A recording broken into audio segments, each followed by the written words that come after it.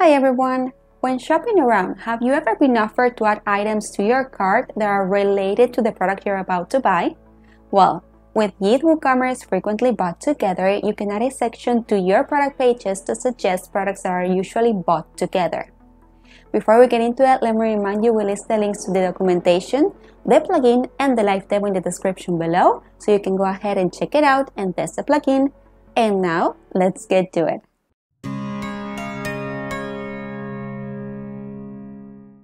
You have probably seen several times sections on e-commerce websites that display products that are similar or related to the product you're looking at. For example, you're looking at the newest PlayStation and you see a joystick and a game as suggested products. This is the case even on well-known platforms like Amazon. And this is the scenario you can achieve on your own e-commerce store with our Yith frequently bought together plugin. Now let's see this example.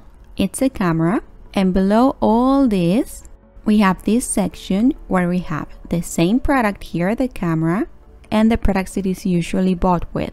We have a protective case and the sheets to print the photos. These are two very necessary items that the customer needs to get if he buys this camera. Now let me show you how this is added to the product page. Let's go to Edit Product. Now we're on the Product Edit page. We're going to scroll down to the Product Data section here, Frequently Bought Together. The first option we have is the Products type. We can select the type of products we're going to use in that Frequently Bought Together section. We can use products that are related by tags or categories. We can use cross-sell products, upsell products. These are the ones you add here in the linked product section. Or you can select custom products, which is what we have in this case. This is the option that lets you enter any products you want to include in this products frequently bought together section. You can see we have the sheets and the protective case here. In the following option, you can decide if you want to show all selected products or a limited number of products. If we select this one, we can choose the number of products that are going to be shown randomly. Then we can just show the products unchecked. If you remember, the products were checked on the product page. Then you can add an additional text to show before the products. You can apply a discount on the linked products. In this case, I added a percentage discount of 10%.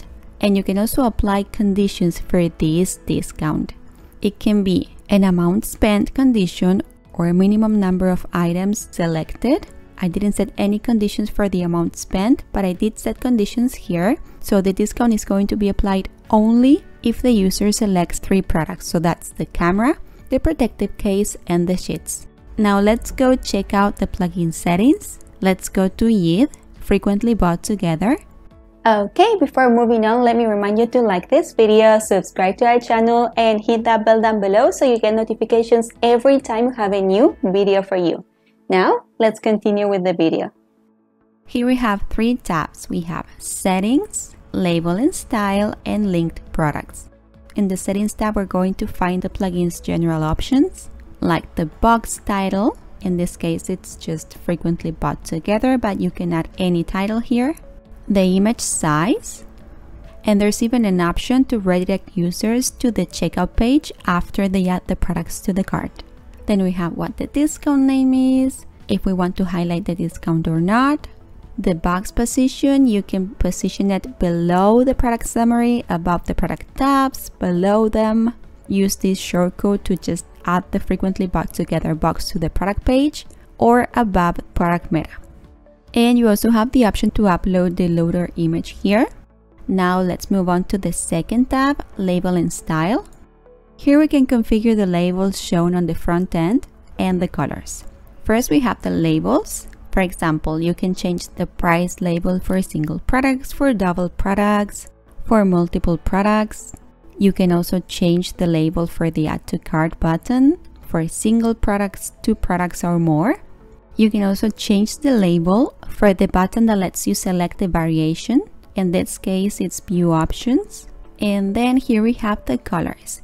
We can choose the background color and button colors. And lastly, we have the linked products tab.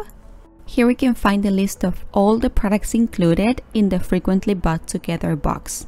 Under product, we have the products that have a frequently bought together box on their individual product pages. And under linked products, we see the products that are added to those frequently bought together boxes. We also have the option to delete here. So we can delete each one of these groups, this one for example, or just use bulk actions to delete several groups. And there's also a search field to search for specific groups. Now let me show you something. In case you're creating a page, for example, let's go to pages, add new. We're going to use this as a test page.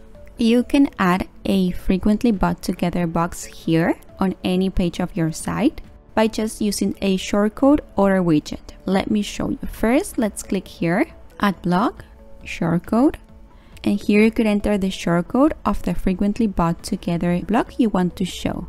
You just have to add this shortcode and the product ID. Or I can remove the shortcode and I can add this frequently bought together form that just adds the shortcode for us. And here you just enter the product ID. Also keep in mind that this plugin is integrated with plugins like YITH Added to Cart Pop-Up and YITH Wishlist, so you can get the most out of these plugins. Don't forget to give this plugin a try by going into the live demo you'll find it in the description below. Okay, so that's how the plugin works. I hope you enjoyed this tutorial. If you did, please give this video a big thumbs up and we'll meet again for our next video.